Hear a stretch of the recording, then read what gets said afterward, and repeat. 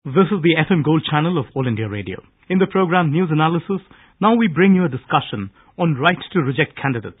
The participants are KTS Tulsi, constitutional expert, and KV Prasad, associate editor, The Tribune.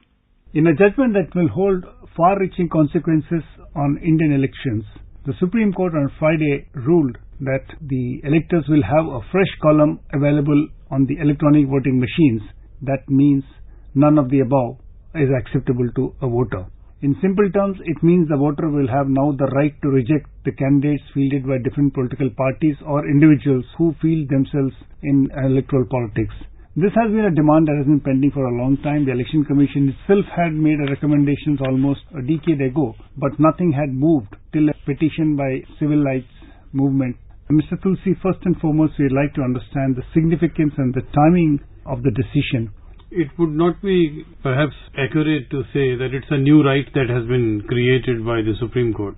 The right of a voter to vote or not to vote was always there. It has been deemed to be a form of expression under Article 19 of the Constitution of India. It is also recognized by Section 79D of the Representation of Peoples Act. So it's always been there since 1950. The only difference is that since 1950, when we had voting by ballot paper. At that time, the voter exercised his right to reject everybody by not putting a cross against any name. So that was perfectly valid. There was no problem with that as long as ballot paper was in use. The right of a voter to reject was inherent and he could exercise simply by not putting a cross. It would be invalid, but nevertheless he has exercised his choice. But when we introduced the voting machine, the voting machine requires you to cast your vote, to press some button. If you don't want to press any, in that case, under Rule 49O, those who don't want to press, they had to sign a declaration or put their thumb impression against the declaration in Form 17, which compromised the secrecy. Because the voter who doesn't want to vote in favor of any of the candidates doesn't want to be identified when you ask him to sign that declaration, this person has entered, he has been given the option, but he has not pressed any button to prevent the election becoming invalid. There was a requirement of a separate declaration. Secrecy violates the basic principle of elections. It is to provide, to respect that right of secrecy that the Supreme Court has now, in the changed situation where we are using electronic voting machines, in those machines, you should provide a procedure which is as secret as the one where the secrecy of the person in whose favor you have cast your franchise is respected. So, right to reject was there. But now the Supreme Court's direction is only to the extent that this right to reject must be kept confidential because this is also part of the election process. So therefore, to say that a new right has been created by the Supreme Court perhaps is not very accurate. The fact that you have a column entry under a specific category that the voter has decided to exercise his franchise in the column, none of the above, which never, as you rightly pointed out, that exists in a different form and format, where the member's right was compromised. To that extent, it gets more institutionalized, if one may say so, in terms of recording of votes. It's a procedure of exercising this right which already existed under Article 19.1a and also under Section 79d. So it's that right which is now being effectuated in the new procedure of casting your expression. And that procedure is that the secrecy of your not having chosen anybody will not be compromised under any circumstances. Ms. Tulsi rightly pointed out the fine aspect of the law which the Supreme Court had now clarified.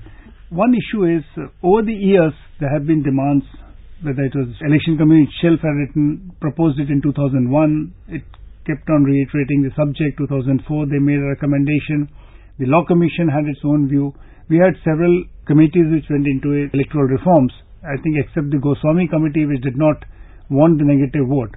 How do you see that? Because on one hand, you had people not exercising, as you said, the 49O was a very minuscule people went actually would go and stand up in a queue and say, okay, I'm not going to vote. that would only prevent bogus voting because a genuine voter goes to the polling station and says, I'm not interested in any. Do you see a significant shift expected with now voters exercising the disenchantment with the, all the candidates who are offering themselves as possible representative? There are always problems. There is no system of voting which is perfect. But I believe in the sanctity of the constitution and the constitutional processes. India is extremely fortunate in having preserved its democracy and it's a vibrant democracy. It's the largest democracy in the world. Crores and crores of people exercise their franchise and the governments are voted in and voted out in a constitutional manner without any letter hindrance. Therefore, I am not in favor of complicating the procedure as provided in the Constitution. I am not in favor of making it unworkable, right or recall. In a large democracy like ours, we cannot complicate this process. Sections of this society or the voters are completely illiterate. Any complication that we may introduce in the procedure of voting and electing our representatives is wrought with grave dangers. So therefore, the Supreme Court has not ventured into anything else than providing secrecy to a voter who is exercising his franchise through electronic voting machine by saying none of the above so that he is not required to sign any declaration as required under section 49O. Uh, Mr. Tulsi, one of the things, of course, does call for a question and it probably would lead to a debate as to the efficacy of this whole, because it already existed in, as you rightly said, in the uh, statute books and in the laws of the rules governing elections. Because yesterday, former Chief Election Commissioner Mr. Gopalaswami, who was also pushing for it, told one of the newspapers that even if 90 voters in an electorate of 100 persons press none of the above button, the poll will be decided in favor of the candidate who gets the maximum number of the remaining 10 votes right. because that is the first post system That's that we follow. Right. So the efficacy for an average voter, what exactly would this determine in terms of what message is the electorate trying to send? I remember in 1983 when the elections were taking place in Assam, all Assam Students Union was opposing the holding of elections on account of uh, illegal migrants, etc. They were forcing people not to exercise their franchise. And in that process, there was people's curfew, they were not being allowed to come out of their houses, and yet Mrs. Gandhi made it clear that the electoral process will not be allowed to be hijacked by anybody.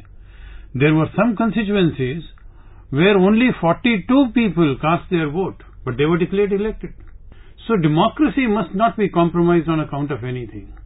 Even if 90% says none of the above, the remainder is going to get elected. We must have a working system. We can't provide for obstructions in the way of elections and in being able to run our democratic institutions. The court did say, for democracy to survive, it is essential that the best available men should be chosen for proper governance of the country. This can be best achieved through men of high moral and ethical values who win elections on a positive vote. It's for the people to judge who are worthy of being their representatives. So do you see, uh, visualize a situation where incrementally political parties will come under pressure with more and more people have currently decide not to go and exercise their franchise, but actually go and exercise their franchise and say none of the above. Will this is what the thought process that actually drives this whole cleansing, if one may No, say no. so? It's not to propagate the system of none of the above that the Supreme Court has come to this conclusion.